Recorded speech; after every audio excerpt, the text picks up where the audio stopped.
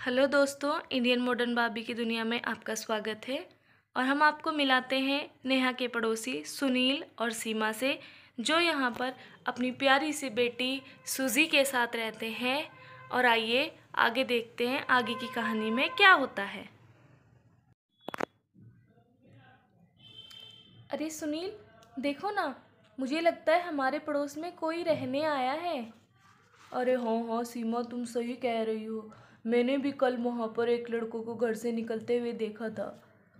हाँ मुझे भी ऐसा ही लगता है। लगता है वो अभी अभी यहाँ पर रहने आए हैं। मुझे लगता है मुझे उनसे जाकर मिलना चाहिए।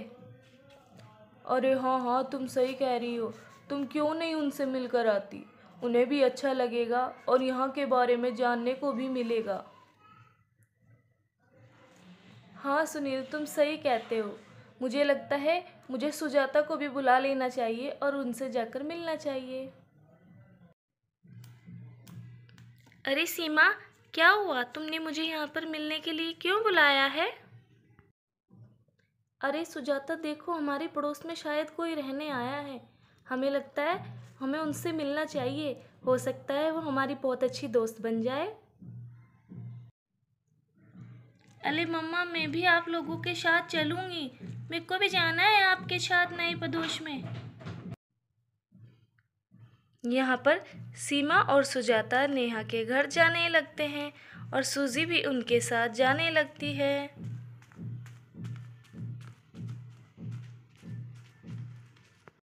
अले वाह अले वाह मिंकी कितना मज़ा आ रहा है ना? अले हाँ हाँ बहुत मज़ा आ रहा है। और तभी वहाँ पर सीमा और सुजाता आ जाते हैं। और यहाँ पर तभी नेहा और की डोरबेल बजने लगती है। Peekaboo! Peekaboo! अरे घर में कोई है क्या? दरवाज़ा खोलो। अरे इस वक्त कौन आ गया? लगता है कोई मिलने आया है जाकर देखना पड़ेगा। हेलो मेरा नाम सुजाता है और मेरा नाम सीमा है। आपका नाम क्या है?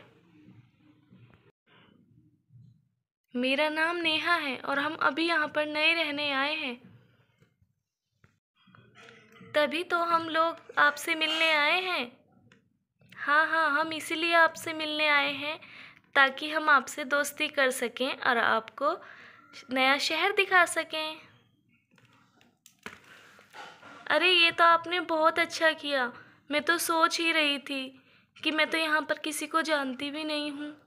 तो बाहर घूमने कैसे जाऊँगी? मुझे तो यहाँ की मार्केट का भी पता नहीं है। अच्छा हुआ आप दोनों आ गई। आपको बहुत बहुत धन्यवाद। आइए ना, चलिए बैठकर बातें करते हैं। चिंकी मिंकी बेटा, तुम रूम में जाकर खेलो। यहाँ पर हम लोगों को बैठने दो।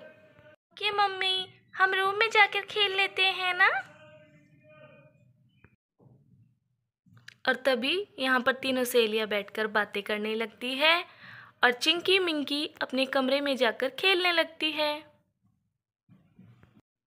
और यहाँ पर नेहा देखती है कि दरवाजे पर कोई छोटी बच्ची भी खड़ी हुई है। तभी नेहा सीमा और से पूछती है कि वो कौन है? अरे सीमा, वो दरवाजे पर एक छोटी बच्ची किसकी है?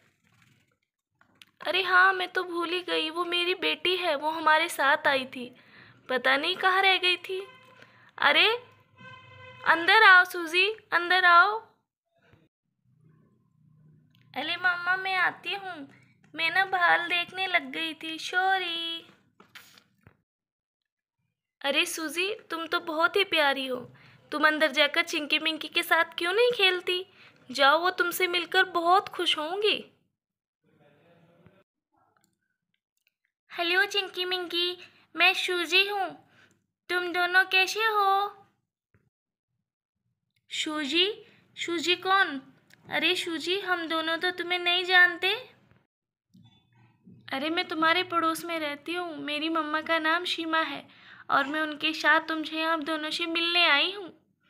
वाह, तुमने बहुत अच्छा किया, तुमसे मिलकर हमें बहुत अच्छा लगा। ये हम तीनों एक साथ खेलकर खूब मस्ती करेंगे।